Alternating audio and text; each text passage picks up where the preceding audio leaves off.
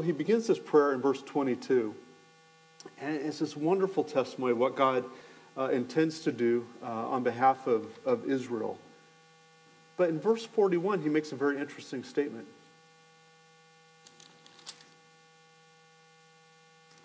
He says, Also concerning the foreigner who is not of your people Israel, when he comes from a far country for your name's sake, for they will hear of your great name and your mighty hand and of your outstretched arm, when he, the foreigner, comes and prays toward this house, here in heaven your dwelling place, and do according to all for which the foreigner calls to you, in order that all the peoples of the earth may know your name, to fear you as do your people Israel, and that they may know that this house which I have built is called by your name.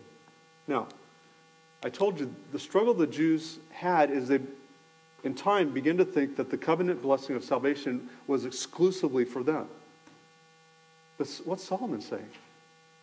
Even this temple that's being dedicated to the Lord, if the foreigner comes and professes faith in Jehovah and, pray to him, answer his prayer as well. Why in the world would Solomon include this in his prayer of dedication to the temple unless he understood the Abrahamic covenant and God's purpose for the Jews, right? As a matter of fact, in the design construction of the Solomonic temple, there are different courts built into the temple design, aren't there? And if you study those designs, you'll discover that there is one court that is designated as the court of the Gentiles. Why? If God didn't expect to be worshiped by Jew and Gentile, would he build into the design of the temple a place for Gentiles or foreigners to come and worship him? Okay? Now, you need to remember what I just said about the court of the Gentiles because they have significance uh, in a few moments. But back to the account of Solomon. So he understands what the purpose of the nation of Israel was. And yet, by chapter 11, we see something very tragic transpire. It says, verse 1 Now King, King Solomon loved many foreign wives, along with the daughter of Pharaoh, Moabite, Ammonite, Edomite, Sidonian, and Hittite women from the nations concerning which the Lord had said to the sons of Israel, You shall not associate with them, nor shall they associate with you, for they will surely turn your heart away after their gods. Solomon held fast to these in love. He had 700 wives, princesses, and 300 concubines, and his wives turned his heart away. For when Solomon was old, his wives turned his heart away after other gods, and his heart was not wholly devoted to the Lord his God, as the heart of David his father had been. For Solomon went after Ashtoreth, the goddess of the Sidonians, and after Milcom, the detestable idol of the Ammonites. Solomon did what was evil in the sight of the Lord and did not follow the Lord fully as David his father had done. Then Solomon built a high place for Chemosh, the detestable idol of Moab, on the mountain which is east of Jerusalem, and for Molech, the detestable idol of the sons of Ammon. Thus also he did for all his foreign wives, who burned incense and sacrificed to their gods. Now the Lord was angry with Solomon because his heart was turned away from the Lord, the God of Israel, who had appeared to him twice and commanded him concerning this thing that he should not go after other gods. But he did not observe what the Lord had commanded. He says in verse 11, Because you have done this and you have not kept my covenant, my statutes, which I have commanded you, I will surely tear the kingdom from you and will give it to your servant. He goes on to say, Because of David, I won't do it in your lifetime, but following you. What a tragic account. Here's this king of Israel who clearly understands what God's purpose was for the nation of Israel. But by the end of his life, he turns his attention from worshiping Jehovah to worshiping the gods of his foreign wives. And then the man who built the temple, the supreme place of worship for God on earth, builds temples to all his foreign gods on the hills surrounding that temple. This is a tragic account of a man who abandons his priestly role and, and pursuing a life of holiness and devotion to the true God and embraces idolatry. And God is so displeased with this that he promises he's going to divide the nation. This ushers the nation of Israel into just a very troubled uh, period for generation after generation. And we see the idolater being brought back into the land. Now, the significance of this is when God had given the Jews the promised land, and Joshua led them in, into the conquest, what God was doing there was he was purging the land of idolatry. Every single one of those cities that is conquered, starting with Jericho, and eventually Ai and so forth, there were 31 city kingdoms in the land of Israel. And each of them was ruled by a different king, and they each worshiped a different set of gods. So, what God is doing in bringing the walls of Jericho down, He again is displaying His power, okay? That He alone is the true God, and He's defeating and crushing the gods that were worshiped among those who lived in the city of Jericho. In fact, that's a wonderful account of how God used Israel because there was a lady there named Rahab, wasn't there? And she chose to believe in the God of the spies, and she hung the scarlet cord out of her window. And when the walls fell, what happened? She and her family were preserved. Okay? And again, Hebrews 11 tells us that it was because of her faith that righteousness is attributed to her. Here's a Gentile. Paul uses the word uh, that they're, uh, he describes it this way Gentiles are being grafted in to the Jews. We see this all the time. Matter of fact, I skipped over, but Moses' wife. Okay? She's a Midianite. So is Jethro, his father in law. So even during the Exodus, you have Gentiles who are part of the children of Israel who are benefiting from the blessing of the covenant. Okay? So God is using them throughout their history, and we, we see accounts of this. But um, following uh, the dividing of the kingdom, you see this horrific period where people like uh, Ahab and Jezebel come into power. And of course, they were worshippers of what? False God. Baal, correct? And God raises up a man named Elijah, and he confronts that. Remember the story on the Mount, Mount Carmel with the prophets of Baal? It reminds you of what happened in Egypt. Okay? He throws down a challenge. Who's the true God? Okay, who's all powerful? The prophets of Baal, they're up on the stage of Mount Carmel, go through all of their, you know, rituals and ceremonies and call down fire upon the altar and what? Right? Because their gods have no ears. They can't hear. They're blind. Uh, they're not alive. And then to just kind of make the point, to prove that God is powerful and can only do the miraculous, he douses the altar with barrels and barrels of water and then stands publicly and says, Now, God, reveal your true power and send down fire. And he does that and consumes it. Okay? Who's God doing that before? He's, he's doing it before an idolatrous people who need to be called to repentance. Elijah also was sent to a widow, wasn't he? A widow in a place called Zarephath. She and her little son were getting ready to die, take their last meal. And Elijah meets her and says, Please help me. If you could serve me right now, then God will make sure that you don't run out of oil and, and grain. She chooses to do that as an act of faith in the God of Elijah. And what happens? God provides for her. And Elijah eventually uh, heals her son. There are other accounts of this, but the widow of Zarephath, you need to uh, like this, I should say. But the widow of Zarephath illustrates another Gentile. Okay, she wasn't Jewish, but she's demonstrating faith. And you'll see in just a moment that Christ uh, pointed to these examples in the Old Testament to verify and validate that he was to be a Messiah for all peoples, Jews and Gentiles.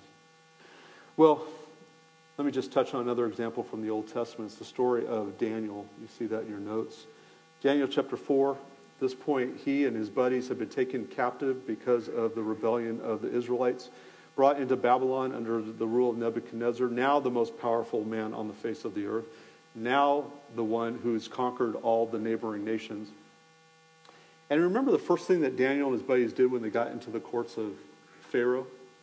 You know, these guys are like 11, 12 years old, probably. Young guys. And they themselves offer a challenge. And they say to their guards, Let us not take of the king's meat and wine, but let's eat basically water and vegetables and see who's healthier at the end of this. Now, as an 11 or 12 year old, why would you do that? I mean, I think my natural inclination would be I've just been separated from my family. Maybe they were killed. I don't know. I'm alone in a foreign country. This is the most powerful man, okay, uh, on the face of the planet. Who am I to stand up and to throw down a challenge, right? Let, let alone the enticement to the flesh of the king's wine and his meat. So something had to be motivating Daniel and his buddies to do this.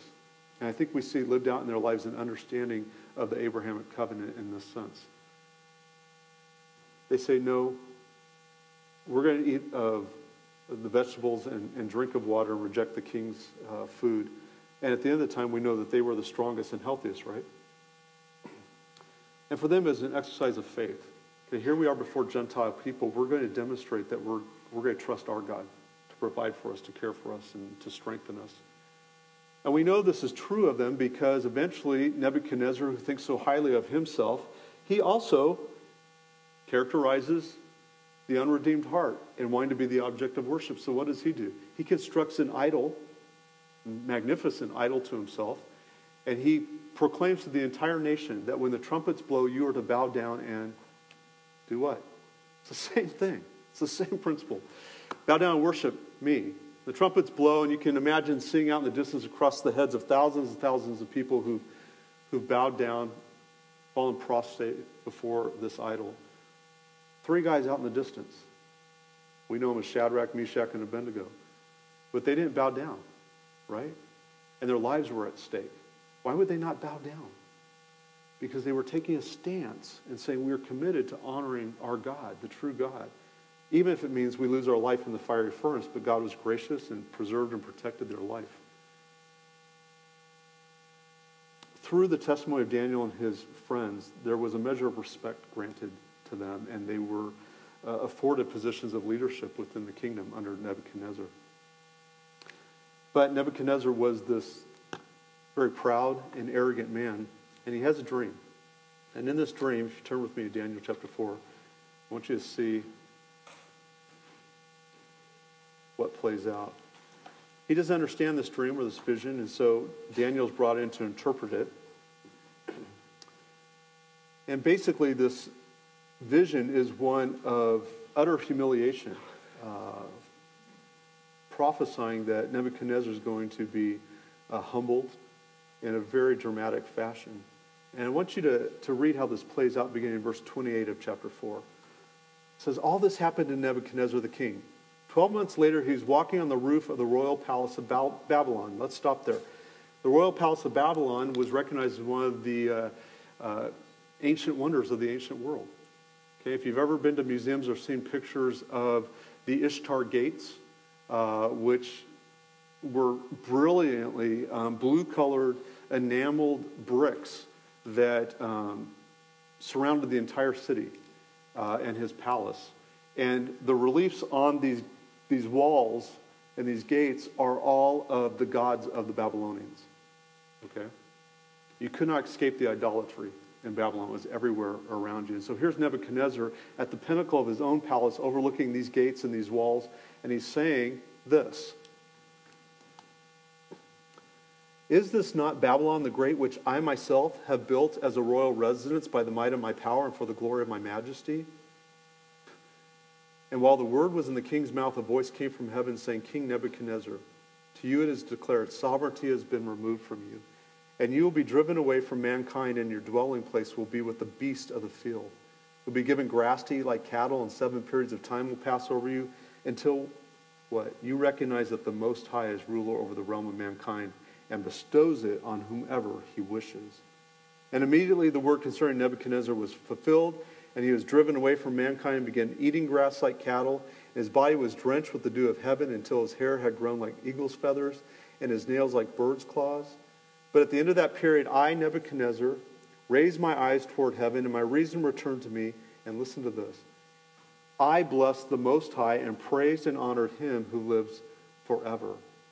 What's happening here? Nebuchadnezzar, who himself, he's deified himself as the object of worship he is filled with uh, an extreme measure of pride. At the moment that he's bragging of all that he's accomplished, God fulfills this vision. A man taken from the highest pinnacle of authority and power and worship that a man could ever drive on this planet is what? Reduced to crawling on his belly and can't even care for himself as far as his bodily functions, his hair grows, his nails go. What's, what God, what's God doing there? And please know it's no secret. The entire nation saw what happened with Nebuchadnezzar.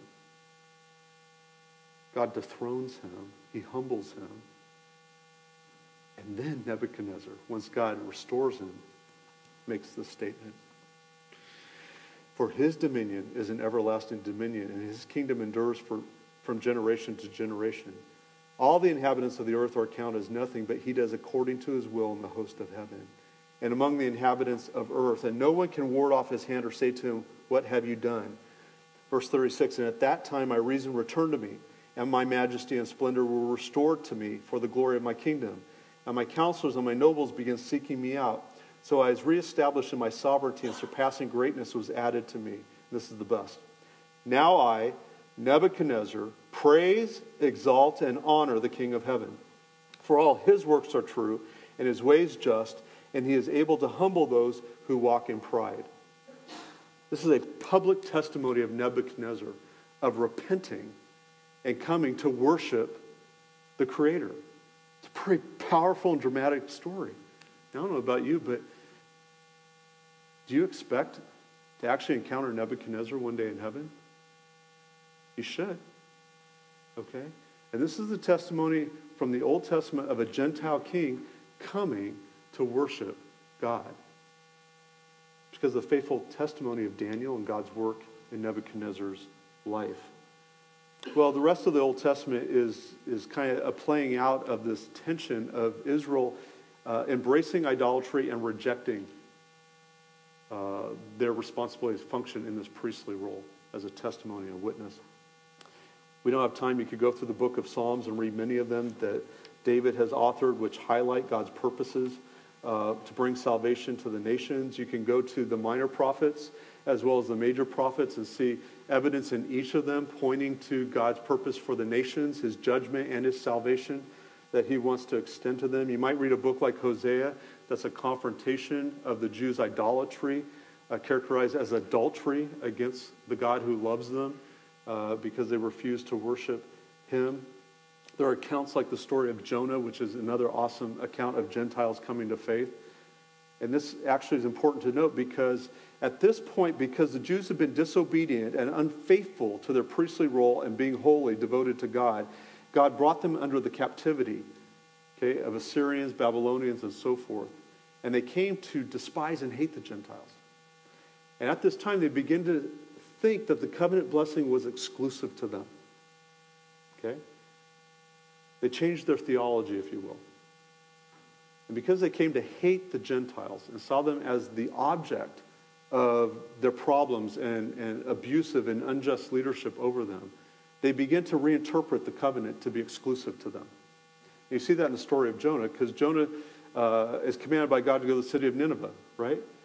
And this is another Old Testament Sunday school lesson that we tend to get wrong. We, we read there that Sona, uh, Jonah didn't obey and he read the, uh, fled the opposite direction, right? He went down to the city of Tarshish and got on a ship and went the opposite direction of going to Nineveh, which was in the east. Well, you know the account, right? Uh, the storm comes up, he's thrown in the sea, the, the great fish swallows him. Uh, he's put out of the fish, and then he goes to Nineveh. And it says there in the book of Jonah that he began to walk a day's journey into the city. It was three days wide, which is about 60 miles wide, major city. He gets about a day's worth in, and he is declaring the message that God told him to bring to the Ninevites. Now, the reason we teach this wrong is we, we say that Jonah was afraid to go to Nineveh. And there's just reason for thinking he was afraid because the Ninevites were the most vicious people on the planet. Uh, when they conquered people and they returned home in victory, they would impale the heads of the people they conquered on post, and they would march those in as they came back into the city walls. They would skin uh, those that they had captured and, and drape their skins over the walls of the city. So there's just reason to think you'd be fearful of the Ninevites. But see, Jonah was never afraid of the Ninevites. That wasn't his motive. Because when you come to the last chapter, last two chapters of the book of Jonah, you see that as he went in and was preaching, they all repented from the king all the way down to the poorest of the servants. And they all humbled themselves in sackcloth, sackcloth and they, uh, in essence, repented of the message of coming judgment to them and uh, asked um, or, or that, that God was the true God in that case. Now, anybody you would think would be overjoyed. An entire city of Gentiles, these vicious barbarians, come to faith. And what's Jonah's response? Anger. It's exactly right. He's sitting out there, right? And I mean, he's so angry he asked God to take his life. I mean, that's pretty angry. And then he explains why. God says, Why are you angry? He says, Because I knew you would do this. I knew you would repent and that you would forgive the Ninevites. See, the Jews came to so despise the Gentiles that they wanted to keep the promise of the blessing exclusively for their own benefit. And by the time you come to the end of the Old Testament, this is what was consistently the mentality of the Jews. And we know that when Christ came, that's exactly what he experienced. Now, I want to take a few moments to talk about the testimony of Christ. A few things to pick up. Some of these are in your notes, some are not. But if you come to Matthew chapter 1, you begin to read those genealogies, right? And sometimes your eyes kind of glaze over because they're names you don't even know how to pronounce. But if you read Matthew chapter 1, you're reading about the descendants, and then it says, it mentions, I believe in verse 5, uh, Rahab. And it mentions a lady named Ruth. Who's Ruth? Do you remember that story? Ruth is a Moabite woman who, when her Jewish mother in law, after all their husbands have died, decides to go back to Israel, she makes this statement. She says to Naomi, okay, Your people will be my people, and what? Your God will be my God. And through the, the life uh, of Ruth in that book, we see this wonderful reference to Christ and, and, and what we refer to as the motif of the kinsman redeemer and, and what God intends to do uh, to care for those who are broken. And um, it's, it's a beautiful story. But the point is, Ruth professed faith in God. And Rahab and Ruth are two Gentile women included in the genealogy of our Lord.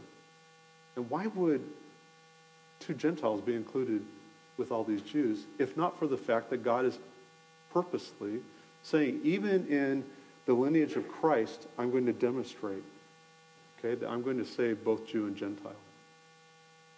Now, you come to Luke chapter 2, and Luke chapter 2 is that wonderful text uh, that we refer to as the nativity narrative, and Mary and Joseph are called out to go to Bethlehem, right? We read that every year. If you're like my family and you sit down uh, to um, open gifts, we read through Luke chapter 2 and talk about Christ being the greatest gift for us, and, and he is. And Luke chapter 2 affords us an understanding that at the birth of Christ, God sent angels to some shepherds in the field, Jew or Gentile, by the way. Jew, right? And he calls them to do what? To come worship the king, which they do. They go to the stable and bow down and worship Christ, the newborn uh, king. Well, at the same time this is happening, Matthew 2 tells us that there are wise men in the east who had heard prophecy that one day a, a star would be in the heavens and announcing the birth of a king. At the same time, the shepherds are being having Christ revealed to them. These Jewish shepherds, also these Gentile wise men, are being led from the east to come and bring their gifts of worship as well. Now, I can't be definitive, but from what I've read and studied, many people have derived that it's most likely these Gentile wise men first learned of these prophecies of king probably from the influence of Daniel there in the courts of, of Nebuchadnezzar. There were wise men at that time, and we know that uh, Daniel was faithful in his profession of faith in God and Jehovah. And so it's most likely that uh, this was the influence that over generations had informed their expectation. But the point is this in coming to worship, uh, in the Nativity narrative, you have both Jew and Gentile. And uh, when I travel, one of the things I try to do is pick up a nativity set from uh, the country I'm visiting. And at Christmas time with my kids, we'll get out these nativity sets and we'll set them up. And we know that the, the wise men and the shepherds didn't come to the stable at the same time. But in the portrayal of the little nativity set of bringing forth the shepherds and the wise men, I always say to my kids, this is a picture of what God wants to do through the gospel of both Jew and Gentile, being called to bow down and worship the newborn king. And you might want to point that out to your kids at this Christmas time because this is our hope. I don't know about you, but I'm not Jewish. I don't have any Jewish blood in my body. And my hope as a Gentile is that this, these promises are true and extended to me. And I'm sure that's the case for you as well. Well, the text I want you to see is found in Luke chapter 2. And we read this passage often, as I said, at Christmas time, but we stop too early. Verse 20 talks about the shepherds who went back glorifying and praising God for all they'd heard and seen, just as had been told them. And verse 21 picks up the account. It says, And when eight days had passed before his circumcision, his name was then called Jesus, the name given by the angel before he was conceived in the womb. And when the days for their purification according to the law of Moses were completed, they brought him up to Jerusalem to present him to the Lord. As is written in the law of the Lord, every firstborn male that opens the womb shall be called holy to the Lord. And offer a sacrifice according to what was said in the law of the Lord, a pair of turtle doves or two young pigeons. Now, catch this. And there was a man in Jerusalem whose name was Simeon. And this man was righteous and devout, looking for the consolation of Israel. And the Holy Spirit was upon him. And it had been revealed to him by the Holy Spirit that he would not see death before he had seen the Lord's Christ. And he came in the Spirit into the temple. And when the spirits brought in the child, Jesus, to carry out for him the custom of the law, let me just pause there. What's going on? Christ is only eight days old. Okay, he's being dedicated at the temple. Mary and Joseph come in, and God's prepared a man who he promised he would not die until he saw the Messiah. Imagine Simeon, this elderly man coming into the temple every day with an expectation when will I see the Messiah? And this is the day. As Mary and Joseph enter in through the gate, he sees in their arms the promise of the Messiah. It says there the Holy Spirit revealed this to him.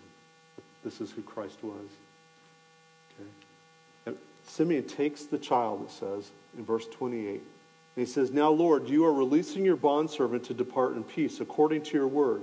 For my eyes have seen your salvation, which you have prepared in the presence of all peoples, a light of revelation to the Gentiles and the glory of your people Israel. Interesting, isn't it? God prepared this man to make a public profession there in the courts of the temple on the very day that Christ comes in to be dedicated. And what he says there is that this child is the Messiah. Says he was waiting for the hope or consolation or the salvation of Israel. It says, but he is also a light to the Gentiles. Okay? See, the principle is very consistent all the way through. Jew first, then Gentiles. Jew first, then Gentiles. As a matter of fact, Christ came to whom? His own people were Jews, right? And just as we saw in Genesis chapter 3, we see here, uh, according to Christ's own testimony, that he came to what? To who initiates? He came to seek and save the lost. A good shepherd goes out and looks for his lost sheep. Who initiates? It's God. And the way God initiates is to the Jew first and then to the Gentile. And Christ coming to his own people is evidence of that. Now, sadly, they reject it. And I want you to just see a couple of accounts of this. In Luke chapter 4, we continue, continue reading down in verse 24.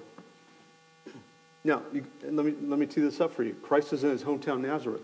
And he goes into the synagogue, and this is where he's unrolled the scrolls, and he's read that passage out of Isaiah that says, I came to set the prisoner free. I came to open the eyes of the blind. Christ is pronouncing publicly that he is the Messiah and the fulfillment of all those messianic prophecies in the Old Testament.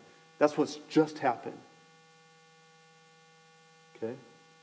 And Christ says in verse 24, in, in their response of, of doubt, Truly I say to you, no prophet is welcome in his hometown. But I say to you in truth, there were many widows in Israel in the days of Elijah when the sky was shut up for three years and six months, when a great famine came over all the land. And yet Elijah was sent to none of them, but only to Zarephath in the land of Sidon to a woman who was a widow. Remember that story? Okay, Gentile lady. Verse 27 And there were many lepers in Israel in the time of Elisha the prophet, and none of them was cleansed, but only Naaman the Syrian. We didn't talk about that, but after Elijah came Elisha, and you know the story of uh, Naaman, but he's a Gentile, Syrian from Damascus, a, a Syrian military officer. He's got leprosy. He's told to go bathe in uh, the Jordan River seven times to go under the water. And as an act of faith, he does that and is healed. Christ is pointing in this text listen, this is his first public preaching ministry. Okay? And what does he do? He validates and verifies that he is to be a Messiah for all peoples. And he points explicitly to these two Gentiles who demonstrated faith. And what is the response of the people? They were filled with rage, it says, and they wanted to throw him off the cliffs, but he escaped their grasp. Why were the Jews so hostile towards this reference to Gentiles? Because they hated the Gentiles. They thought the covenant was exclusive to them. But Christ is being very clear I came to save all people. Okay? He is not an exclusive Messiah. There are other accounts of this. Uh, you can see in Matthew chapter 8. In this uh, passage, there's a, a crowd of Jews surrounding him, and a Roman centurion comes up to him. He's a Gentile. And he's concerned because his servant is paralyzed. And he comes to Christ and he asks him to heal him. And he says there in verse 8, Lord, I'm not worthy for you to come under my roof, but just say the word and my servant will be healed. For I also am a man under authority with soldiers under me. And I say to this one, Go, and he goes, and to another, Come. And he comes, and to my slave, Do this, and he does it. Now, when Jesus heard this, he marveled and said to those who were following, Truly I say to you, I have not found such great faith with anyone in Israel. What? Christ is surrounded by a group of Jews, and he points to this Roman centurion, this Gentile, and says, Greater faith have I not found in Israel than in this man. You want to talk about public affirmation? That Gentiles are included uh, in the covenant? And then he goes on, and, and in an even more dramatic fashion, he says in verse 11, I say to you that many will come from the east and the west, meaning beyond the borders of Israel. And they will recline at the table with Abraham, Isaac, and Jacob in the kingdom of heaven. But the sons of the kingdom will be cast out into the outer darkness, in that place where there will be weeping and gnashing of teeth. Wow. Christ points to the future promises of, of his coming kingdom, promises that had been extended and made to the Jews. And he says, also in the kingdom, reclining there at the table next to whom? The patriarchs are going to be non Jews and Gentiles. And many of you who do not receive me as your Messiah will be cast out of the kingdom. See, this is what Paul was saying when we looked at Galatians chapter 3. Okay? Those who are true descendants of Abraham are those who demonstrate genuine faith in God. Well, Another example of this will be found in Mark chapter 11. Remember, Christ comes into the temple and he's outraged, right? Because they've taken a, a portion of the temple there and they have abused it for their own purposes. They're exploiting people financially um, through the, the sale of animals and, and sacrifices and money lend, lending and all this kind of stuff. And Christ comes in and he's outraged, okay? And we don't have the time, but if you go and, and, look at Mark chapter 11 and read, read the story there, you'll see that he comes in and he cleanses the temple with a giant whip. And he's just furious. But what he says there is this place that I'm cleansing is actually to be a place of worship for the nations. He's cleansing the court of the Gentiles. And the reason the Jews at that point felt no qualms about turning that part of the temple into a place of dishonor and disrepute and, and, and injustice and, and violating people uh, financially was because they hated the Gentiles. They couldn't even fathom that they were to be included in the covenant. And Christ is not just cleansing the temple, he's cleansing the court of the Gentiles. And this is a bold statement to the Jews. Say this is to be a house of worship for all people. Well, those are just a few examples. There are others where Christ makes his point very clear. But that leads us to come to, of course, the Great Commission passage in Matthew chapter 28. Christ, having risen from the dead, and by the way, uh, prior to this, he's journeyed on the road to Emmaus with a couple men who don't recognize him. And it says there that he went back and he taught through Moses and the prophets. And in essence, what he was doing, I believe, is going back and rehearsing the history of Israel and God's purpose for the nation. And he was the fulfillment of all of that, right? And with that being said, uh, he makes this wonderful pronouncement before his disciples there, saying, All authority has been given to me in heaven and on earth. There, go therefore and make disciples of all the nations, baptizing the, them in the name of the Father and the Son and the Holy Spirit, teaching them to observe all that I commanded you. And lo, I'm with you always, even to the end of the age. There's a lot that could be said about the Great Commission passage, and I don't intend to preach through it, but I want to make a couple observations. We're instructed here to make disciples. And disciple making is something much more than just making converts. Disciple making is bringing people to maturity and faith through the teaching of the scriptures. This is the work of the church. And today in missions, uh, there's a lot of good work that's being done focused on evangelism. But many people today don't have a commitment to the church itself. And so those converts are not being brought into a setting where the scriptures are faithfully being taught. And if we're going to be faithful to fulfill the Great Commission, we can't have this kind of dichotomized thinking about what we're called to do. We're called to make disciples. It begins with making converts, bringing them into the life of the church where they're taught the scriptures so that they can begin to demonstrate faith and obedience and, of course, uh, mature uh, in their own faith. And so, a lot of the work that's being done today uh, by people in missions is very evangelistic, but with very little interest in the church itself. And that positions a lot of these converts, if they truly are converts, to be very vulnerable to error and heresy and false doctrines and all kinds of things. And particularly where the churches that they, if they are brought into churches, are churches themselves where the men can't handle the scriptures accurately and faithfully. And in a moment, we'll talk a little bit about our work of TMAI and why we feel it's, it's critical uh, to the work of missions and in realizing uh, God's purposes in the Great Commission. But the other thing I want you to see here goes back to this idea of the scope of Christ uh, and God's redemptive purposes for the nations. He says, Go and make disciples of all nations. And the language here in Greek is complementary to the language in the Abrahamic covenant of all the families of the earth will be blessed. Here it's all the nations of the earth.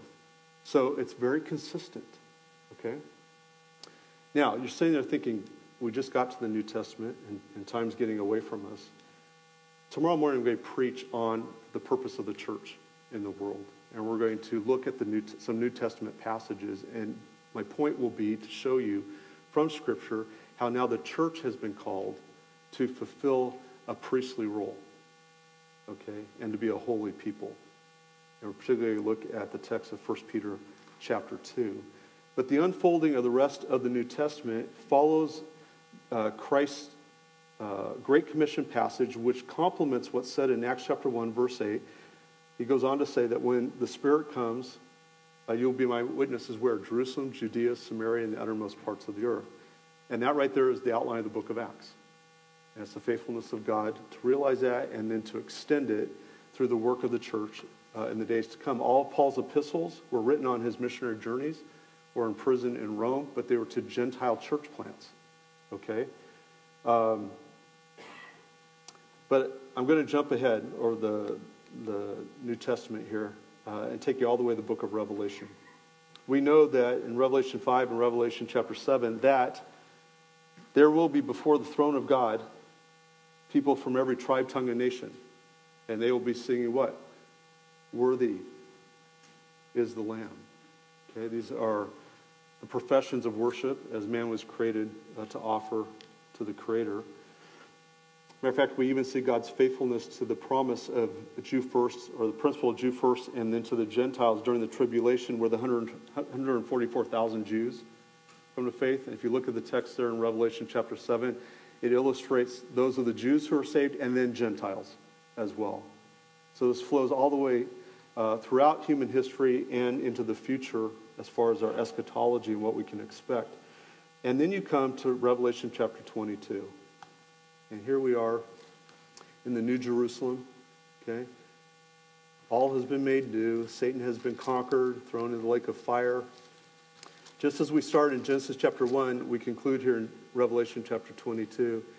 And it says this Then he showed me a river of the water of life, clear as crystal, coming from the throne of God and of the Lamb. And in the middle of its street, on either side of the river, was the tree of life, bearing 12 kinds of fruit, yielding its fruit every month. Let me stop. One day in heaven, okay, we're going to see the tree of life. Okay? And what does that tree represent? Eternal life, right? It's our hope in God. This has been his offer to us throughout his redemptive plan. But it says there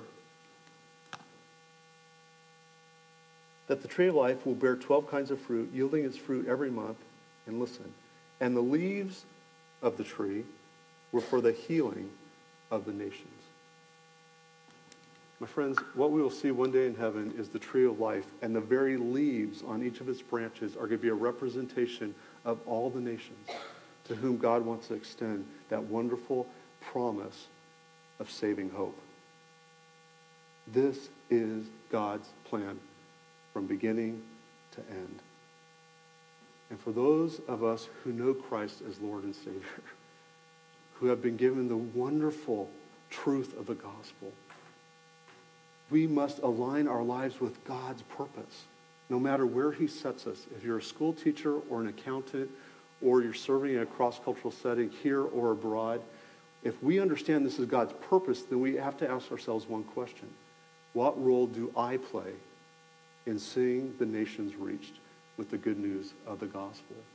And there isn't a more exciting time to live than now as far as the realization of this. You live here in Richmond, I live in Los Angeles. I'm telling you, the nations are here. In the cubicle next to you, or in the food line next to you at lunch, or, or wherever you're out in the soccer field with your kids on the weekend, the nations are there. And so God's church today needs to be active in its own community, its own neighborhoods, to be faithful to this principle of looking for the opportunities to bring the gospel to bear to idolatrous people. And then as we extend our efforts to see the church strengthened around the world so that people can hear the teaching of God's word effectively and clearly and to be brought to maturity so that they too then what? Can go out and function as priests and be holy people. I don't think there's ever been a more exciting or dynamic uh, age to live in than, than today as far as the fulfillment and the realization of God's purpose for the church. And we want to talk about that even more tomorrow, and I'm with you today to discuss some of this. Now, we have just a few more minutes here, and uh, if you will, what I'd like to do is um, just introduce you to our ministry a little bit and give you a chance to ask some questions. And uh, if you want to stand or stretch, you're welcome to do that, but I'm trying to uh, keep us uh, to the schedule here so you have enough time uh, to interface and dialogue. And if time permits, I want to talk to you about some trends in missions that you need to be aware of. But um, let's take a moment, and uh, I have a PowerPoint uh, just to kind of share with you about TMAI, the Masters Academy International. I want to go over our mission statement for you. TMAI is committed to fulfilling the Great Commission by training indigenous or national church leaders to be approved pastor teachers, able to equip their churches to make biblically sound disciples. A couple things to focus on here. We believe that the work we're doing is key to the fulfillment of the Great Commission. If teaching them to observe all that I've commanded you is a function of the church, then we got to make sure the church is able to effectively and accurately teach the Word of God. Um, what we're looking to do is equip and train pastors, uh, elders, church leaders to be approved pastor teachers. And what I mean by that is not just teachers, but they know how to shepherd people. They know how to bring the truth of God to bear by way of application in their culture and in their life. This goes back to the idea of being a holy people. And so we're committed to train pastor teachers, and, and we have the joy of doing that, following the example of uh, my pastor, John MacArthur, uh, committed to expositional preaching, helping men know how to accurately interpret the scriptures using a, a sound set of, of uh, Bible study methods or hermeneutics. uh, to really get at the intent of the author. Okay? Again, we don't get to insert ourselves as the authority. We have to recognize Scripture as the authority and then, as best as we possibly can, uh, accurately interpret it so that we honor the intent of the author. And uh, that means then we're faithful to Scripture. Its authority, its inerrancy, its sufficiency in all things. And in many cultures, uh, the issue of authority is important because, uh, particularly in where there's a, a, tradition of an oral tradition or a cultural makeup where uh, maybe the, the village leader or the tribal leader is the final word on everything, sometimes that gets carried into national churches where the issue of authority is the man. And what the men we train to do is not make the man the issue, make the scriptures the issue of authority. And if there's an issue of disagreement, uh, then let the scripture speak to that issue, not personal opinion about that. And so it's really, really important to transition people's loyalty uh, from the uh, authority of a man to the authority of Scripture.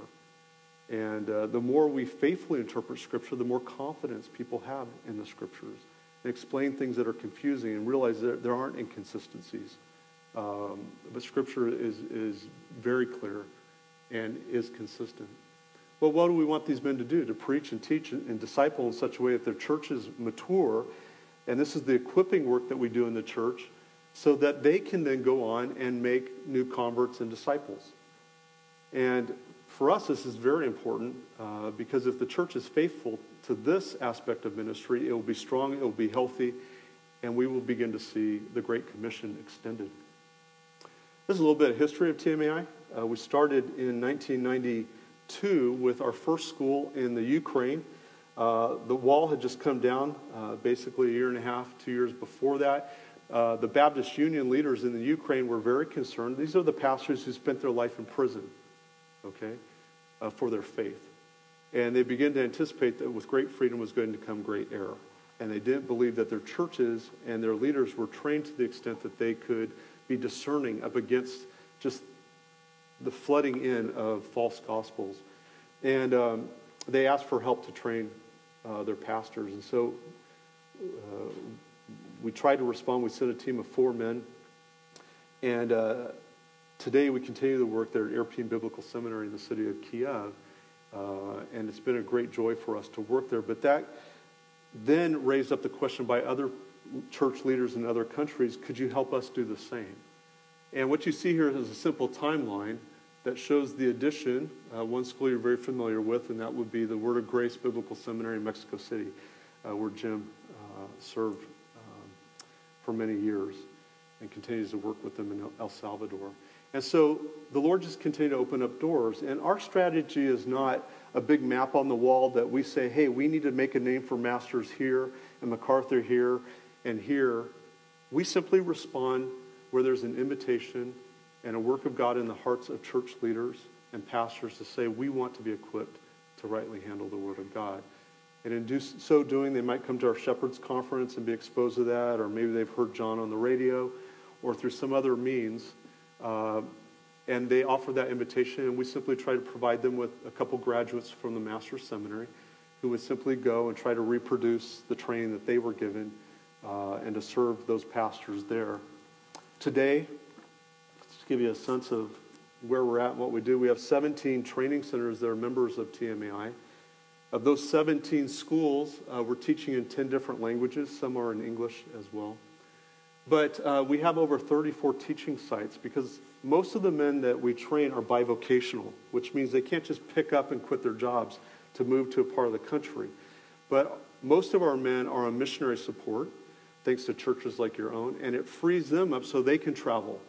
And so we might have a home base, but we'll go out to an extension site and begin to train uh, where there's a good model church and we can have influence there.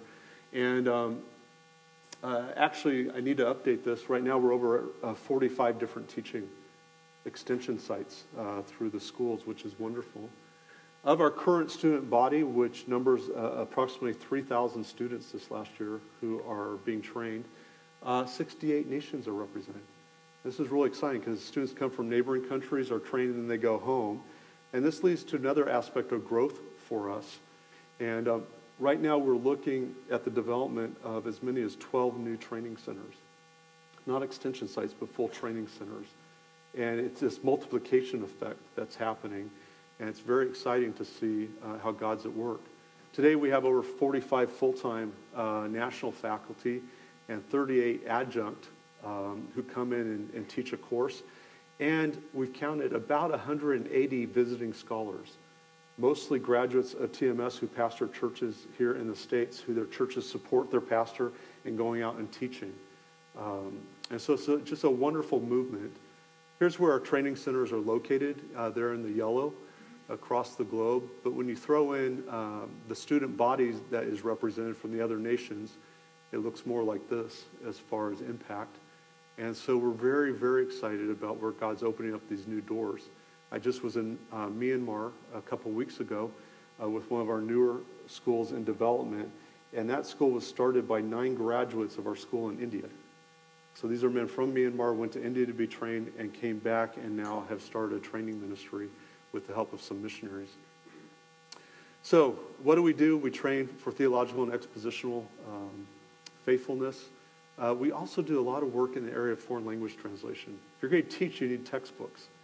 And in a lot of contexts, uh, the better theological resources may not be in their own language. And so we go through the work of translating them, making sure they're accurate. Uh, I think right now we have about 30 projects uh, underway.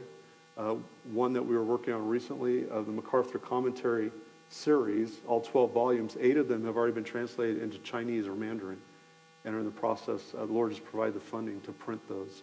So this is an ongoing work all the time, and it's creating a, a, a, set of resources for the church at large. We do a lot of conferences through our schools, and um, we always have book tables and bookstores, and we try to bring good resources, biblical counseling, theology, and other areas to strengthen the church.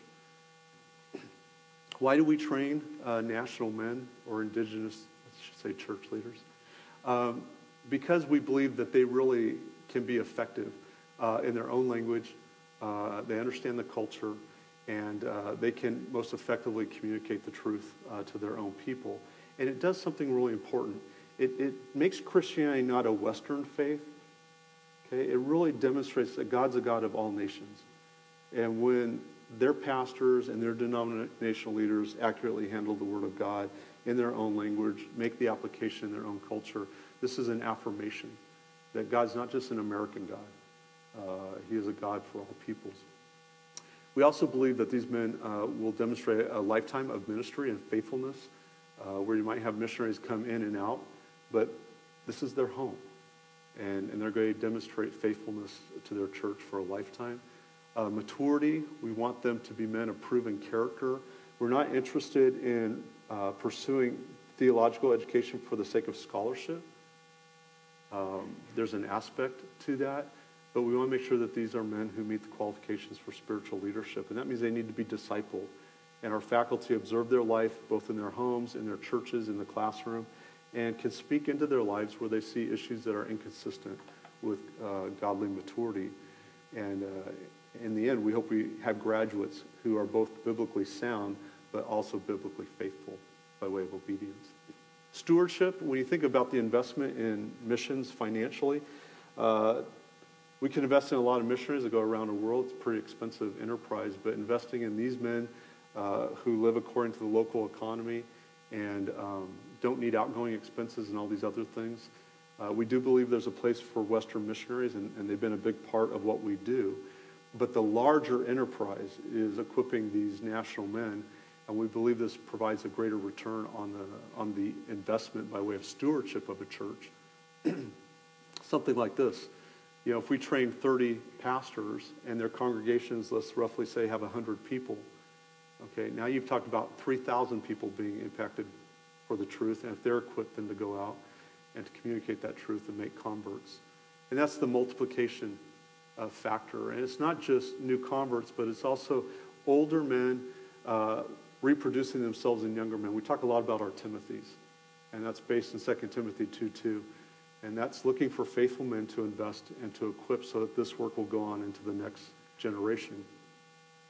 Um, obviously, the idea of presence is they're there, they're living this out. Their families are under observation, and they're able to be examples to the flock uh, in all that they do.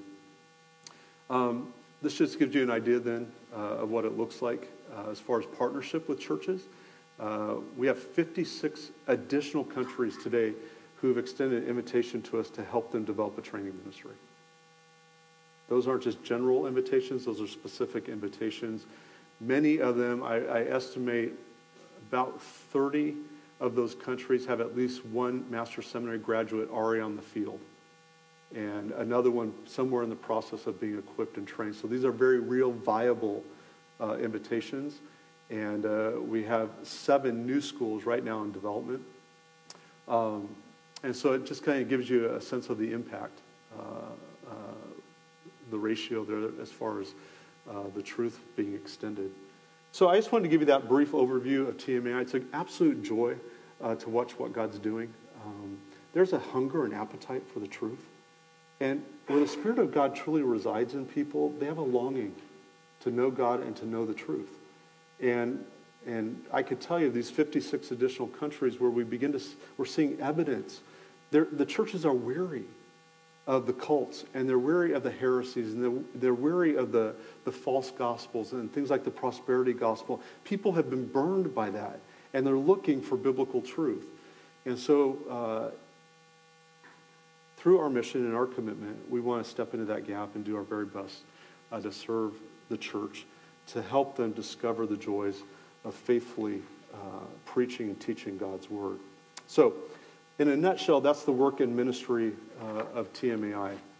And uh, you've been very patient uh, listening. I've gone over a lot, both on the theology missions and now giving you some of these uh, highlights of our ministry and work. I wanted to maybe change the dynamic a little bit and let you just ask me some questions. Um, if you need to stand and stretch, you're welcome to. Uh, we're going to get uh, lunch coming up here soon. Uh, I'm not offended. I tell my students all the time there's, there's no good time to teach. In the morning, you're tired. Before lunch, you're hungry. After lunch, your stomach's full. In the afternoon, you want to sleep. In the evening, uh, you're tired. So I am not put off by people standing, getting a drink of water uh, using the restroom, but I do want to redeem the time. So we'll be a little bit more informal here, but let's dialogue a little bit. Uh, it can be on general questions about missions, it can be on the ministry of TMAI. Maybe you've heard some things or have some thoughts about things like Bible translation or uh, things like contextualization, church planting. Does anybody have a question I can answer? Yeah.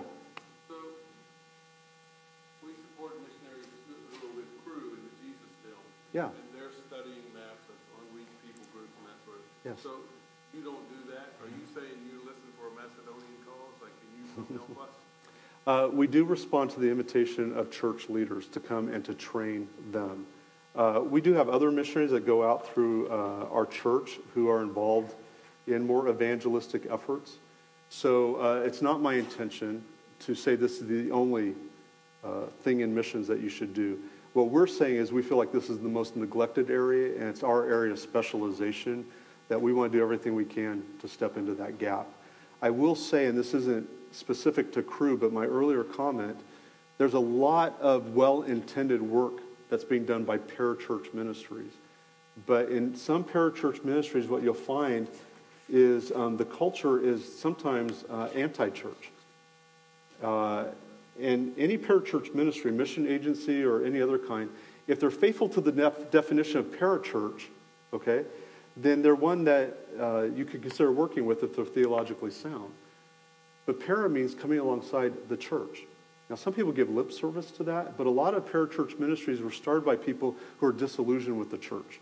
They're frustrated that the church leadership doesn't have a vision for evangelism or missions or ministry among the poor or whatever it might be. And so they go to start these good works but there's an there's an can be an underlying uh, uh, critical viewpoint towards the church, and that can become fleshed out in their organization where the work that they actually are doing on the front lines shows very little interest or regard to the church itself. And that's what I was trying to say. Um, God's called the church uh, to do the work. And if there are people who are disillusioned with the church because their pastors and leaders don't have a vision for evangelism and mission, they're probably right. Because that's true in a lot of churches. But I hope I tried to illustrate from Scripture it's God's priority.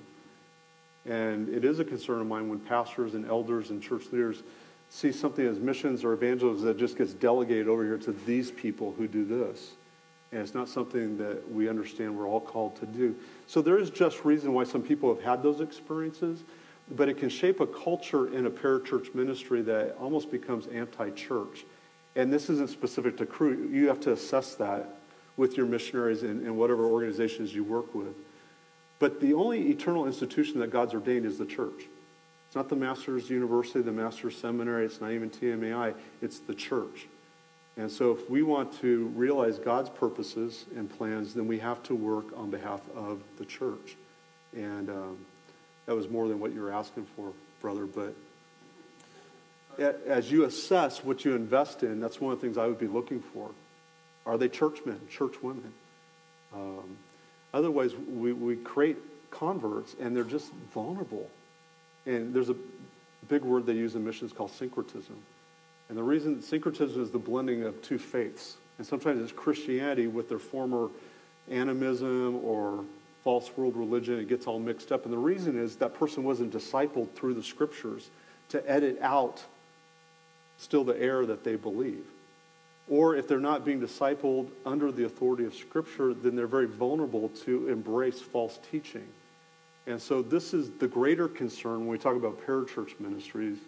Uh, if they're not faithful to the church and a high view of Scripture, uh, it can actually cause some real, real problems. Uh, even to the extent some people who profess the name of Christ uh, and maybe not actually be saved. Um, and this is one of the trends that we see happening in missions today, which is this very pragmatic approach. Uh, we talk about rapid church planting. Okay? And uh, I think the Jesus film is a great tool. Uh, I, I, show it in my class and we talk about how to use it. But sometimes people are using the Jesus film, they, they throw a sheet up, show the Jesus film, and then um, they roll on to the next village. And there were, you know, five people who profess Christ, and therefore a church is planted, and I can move on. But if you look at the New Testament, for instance, Paul sent uh, Titus to the island of Crete to what? Raise up leaders, elders that could lead the church. And um, in the name of our own success in making converts as Americans, because we're very number oriented, that's how we just define success. Um, we're, we're telling people that they're the church, and a lot of times we just leave them vulnerable because we haven't brought them into the church or we haven't done the hard work of discipling and raising up leaders. So uh, that's a general observation, and um, and it's not intended to be a, a direct criticism or cru- crusade or anybody else, but that's the grid I think we got to think through.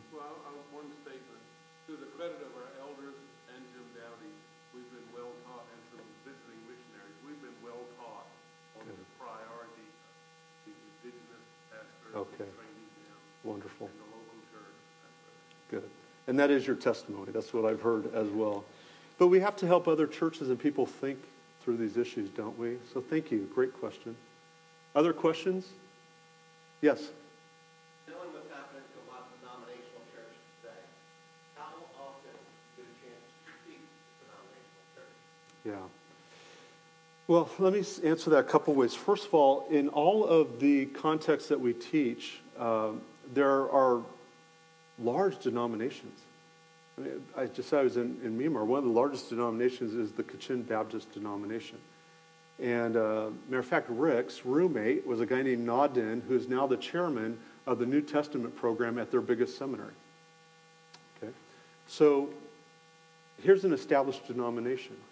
Um, the challenge that they faced in that case, this is an example, is where the Kachin people live in Myanmar uh, is the one area in Asia that produces the most jade. And because of the corruption in that country and the military juntas that have run that until recently, they have been exploiting the people in the Kachin state. And so there are a lot of people in the Kachin church, Kachin church who identify as Baptist, who are against the government and are actually rebels. And so one of our missionaries was invited there to speak at a conference, and the students asked the question, should we submit to the government? So he went back and he says, well, this is what the scriptures teach. Well, guess what? The denominational leaders did not like that. And so they forbid him from coming back and teaching. So, what you'll often find within de- established denominations are, are either, um, let me put this way, often they exist because of faithful missionary endeavors historically. And even their doctrinal statements uh, that they claim they hold to would still be conservative and maybe consistent with your own churches. The reality is, over time, and particularly as missionaries left, um, they may have been vulnerable to other political dynamics and or uh, theological errors.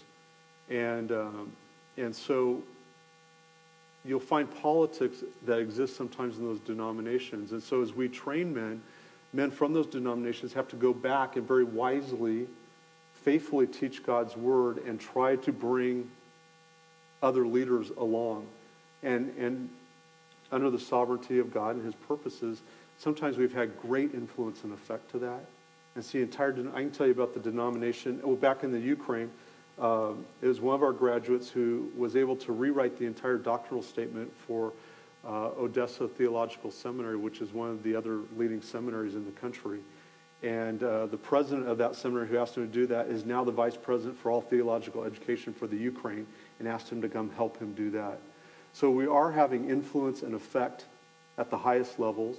Uh, I know another brother who serves in Uganda, and uh, he was able to work with the Baptist pastors at their invitation to rewrite uh, the doctrinal statement of the Baptist denomination in Uganda.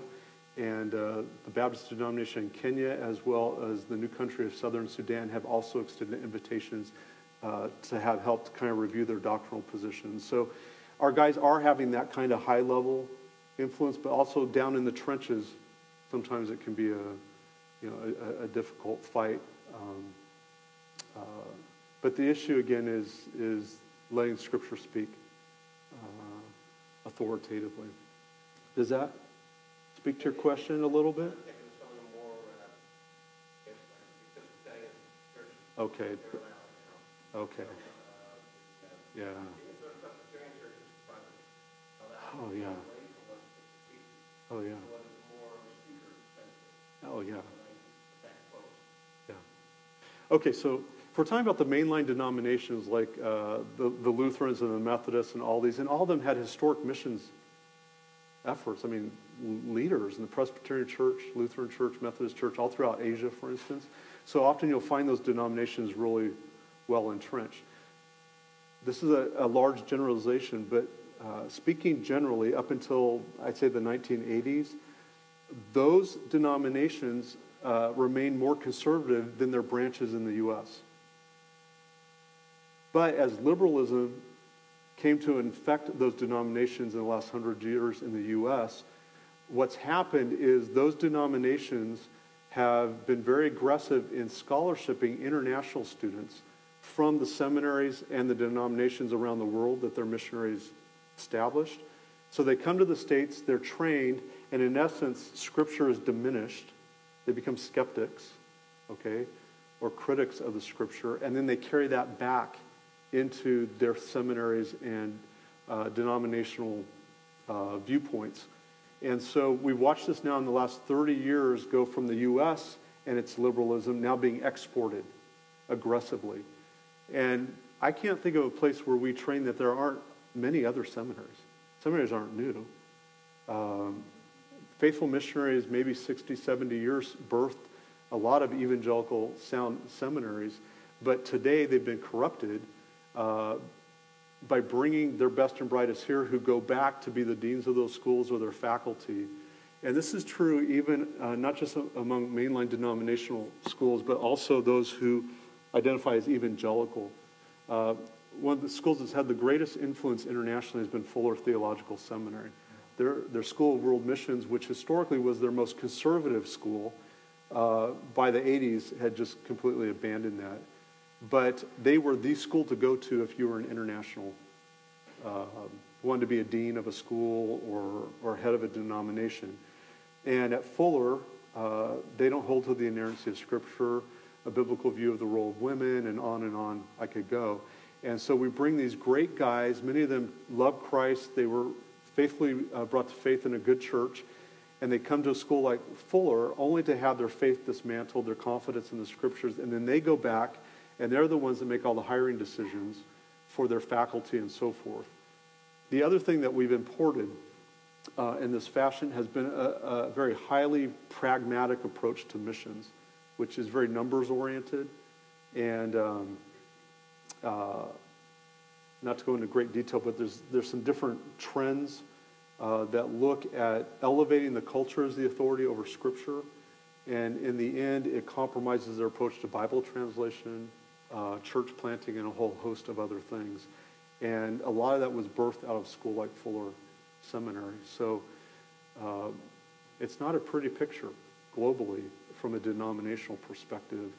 Um, and that's why I was saying earlier, for me, knowing that and be able to give testimony about what God's doing, where there's a, a real appetite uh, to once again to, to, discover how to preach and teach God's word. And so you, you want to respond to that.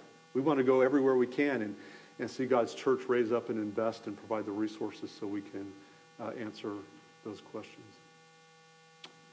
Other questions? Yes, sir.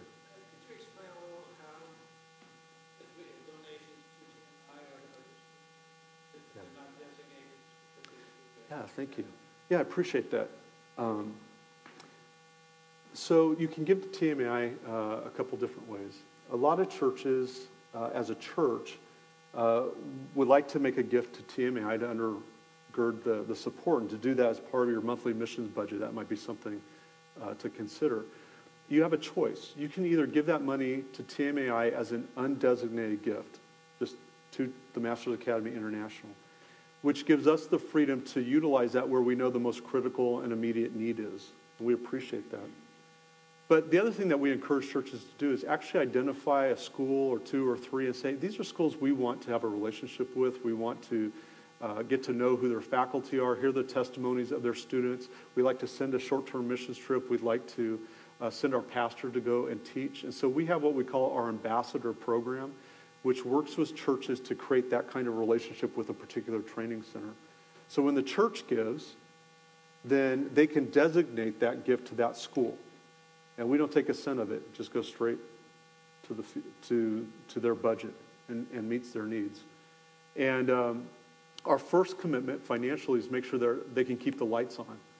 And uh, we go to fund the school in a way that offsets the amount of money that the students can pay by way of tuition. All of our students pay tuition so they value what they're getting. But it doesn't mean that in that context, economically, they can support the whole enterprise. Um, and so we give gifts to meet those, those schools so they can offer that education to the students. Um, but every school submits to us annually a list of special needs or projects. It might be Bible translation projects, it might be a, a capital project, maybe they need to refurbish uh, a classroom. Our, our, school in the Czech Republic is in a historic building, and one of their rooms is in the basement where they had the library. But the building was built in the 1800s, and so it wasn't weatherproofed, and so the water seeped in and uh, ruined the books that they had there. So we had to go back and weatherproof that. Um, so they submit to us projects, faculty development, so they could go on and complete their education at, at the seminary, so they can teach the more advanced level uh, Masters of Divinity courses. So we have a set of those, but we earmark them independently.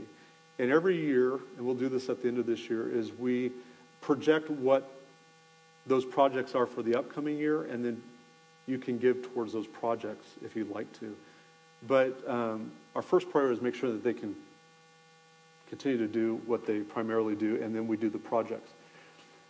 Individuals can do the same thing, to answer your question. So you can give generally to TMAI and allow us to distribute that as needed uh, where the critical needs are. Or you can select an agency.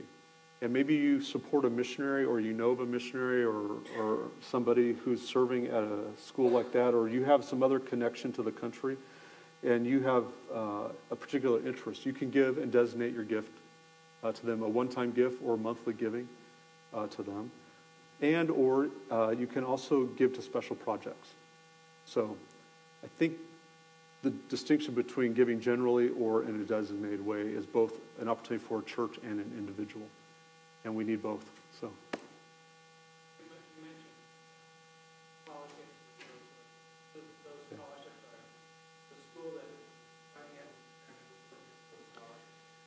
Yeah, uh, we considered some different models early on, kind of like a compassion model where you could adopt.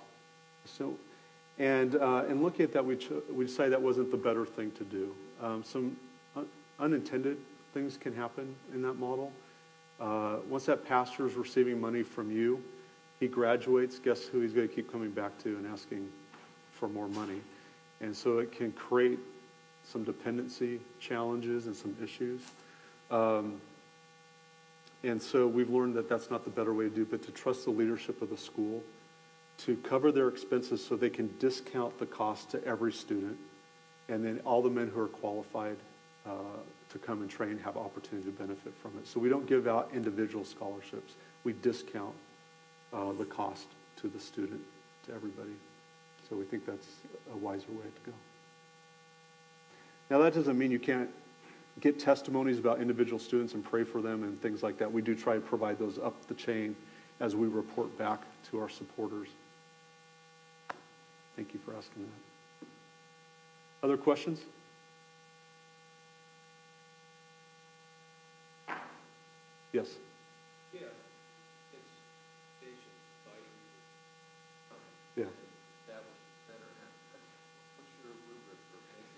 where we go? Yeah, yeah, thank you for asking that. Um, we have what we call the pathway to membership.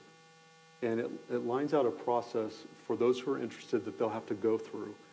And our basic criteria to have a school become a member of TMAI and to receive funds for us and all the other accountability that it provides. Uh, we provide three kinds of accountability through TMAI. Theological, first of all, every one of our faculty members, and if there's a national board over that school, every board member has to sign our doctrinal statement annually stating that they agree with it. So it's, it's real tight. This is where a lot of schools drift and wander, and uh, we know that. So the second is academic uh, accountability, that when our schools are saying they're offering a bachelor's or a master's program, that that is keyed to a standard that is recognized uh, both in the U.S. and internationally. And so we want to make sure that the reputation academically is uh, faithful. Third is financial accountability. And all of our schools submit their budgets and um, report back to us on any gifts that are given to them, how they're utilized, and so forth. And so we have those things in place. Um, but the rubric for uh, then bringing a school into that uh, status as a member is they have to have two graduates of the master's seminary on the field. That's another point of our accountability. Somebody we've trained uh, that we trust. Uh, second of all, they have to have two model churches. And this goes back to really uh, our philosophy of education at the Master's Seminary that's housed on the campus of Grace Community Church. We want them to see what a biblical church looks like. And this is getting away from just theological education that is isolated from the local church. We want them to actually be mentored by pastors, disciple, and given an opportunity to see what a biblical philosophy of ministry looks like in the church. So, two graduates, two model churches. They have to have signed our doctrinal statement, meaning all the faculty, for at least two years. Because, see, all these, these folks are, they do start training in their churches. They just may not be full members of TMAI. Um, and after they've proven that to us for two years, uh, then we move them into what we call a candidate phase. And at that, play, at that time, we work with them to develop their full academic plan, their business plan, their uh, development strategy, um, and several other pieces. And so once that's mapped out, uh, then our board will approve them for membership. So we want them to thrive. We want them to succeed uh, into the future. So the 17 schools we have right now are in compliance with those requirements. The ones in development are in the process of putting those things in place. And when they do, then our board will uh, accept their application for membership. But we state that up front. It's real clear to everybody uh, what they need to do. Thank you. Yes?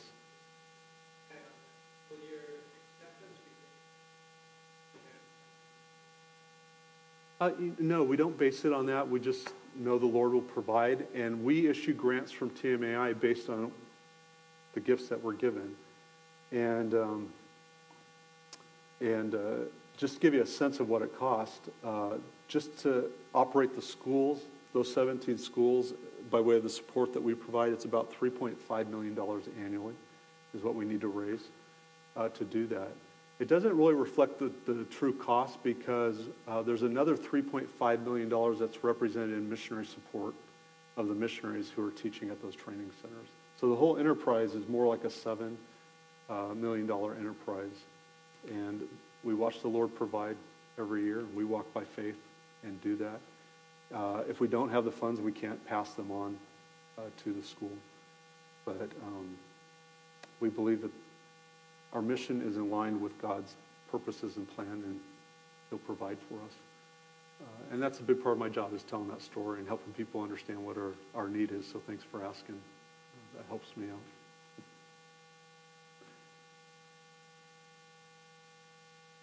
I guess the other thing I would say in that regard, and, and you asked about individuals, and I don't know your church family here, but all of you represent relationships. And sometimes in those relationships, there's people who love Christ and they have financial resources that are available to them. And we're as grateful for the faithful person who gives the, the 10 or $20 every month. We love that. We don't make a distinction. Um, but we also are looking for people who are saying, I'm looking for a place to invest really strategically for the kingdom from my investments or the resources the Lord has provided through my company or something like that. And so it may not be you. You may have limited resources and, and you give generously as the Lord provides. But if you know of other people uh, who would be like minded with us and you wouldn't mind making an introduction to us, that's very helpful. And we see the Lord growing a number of people who are kind of uh, legacy givers or people who, who want to put TMAI into their estate plan or some things that look more towards the future. And so that's also a possibility. Uh, we're grateful when we're included in a, uh, an estate or there's a piece of property or something that's given. Um, and we believe that, you want to talk in, in basic terms, we have a product uh, that uh, is, is, can be trusted. And um, people can have confidence that there's the accountability in place to make sure what their gifts are given towards will be used uh, faithfully. And uh, I know when you write that check, a lot of us just give, but, but there are those who, they do ask that question. They want to know. And so we believe you build trust by communicating respectfully as to how the gifts are used. And that helps increase uh, people's confidence. So, all right. You've been sitting a long time, and uh, I'm not going anywhere. I'm going to be here for a while, so I'm going to pass things over uh, to Bill. Thank you so much for your attention this morning. I appreciate it.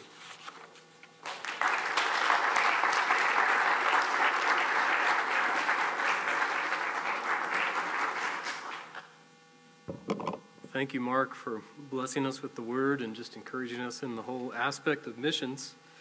Wanted to mention briefly that uh, even as Mark was talking about their works around the world, we as a missions leadership team and the elders are talking through and looking at uh, partnering even tighter with TMAI as they are theologically aligned with us and philosophically as well. And so we're already partnered with them through the work that we're supporting in Mexico City with Jim and Carolyn and their ministry there and in El Salvador. And we're also looking at another uh, area of the world, and that is India. You say, why India? Well, they have a work in India, and we have in our body uh, two member families who are actually represented here this morning from India who have a heart to see the gospel go out to their home country. And so when we learned that they have a work there that could use some help, uh, some encouragement, and even some financial support, we thought, wow, here we have a piece of India right in Midlothian. And uh, there's already been trips that I know Alwyn and Sherman have taken back to visit family and carried gospel books to, to share with their families. So in January, Alwyn and myself are going to, we're planning a trip right now to travel to Goa in India and visit this seminary work and get kind of a firsthand look at what's going on, bring a report back, and Lord willing, even take on another uh, aspect of TMAI to help help this work there. And who knows what the Lord might do even through some of our members here in their heart for their home country.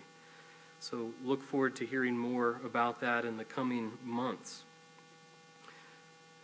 If you take your bulletin that you got today and open it up, you'll see that there is a, a TMAI card in there.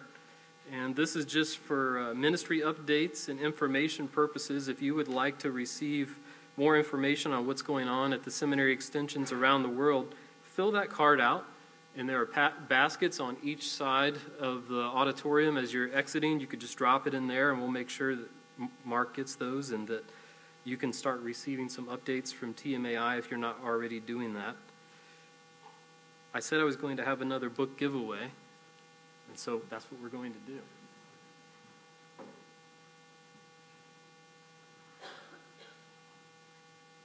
Who likes to read? Hey, we got a lot of readers. Good. Who thinks they came from the furthest away this morning? Besides Mark. yeah.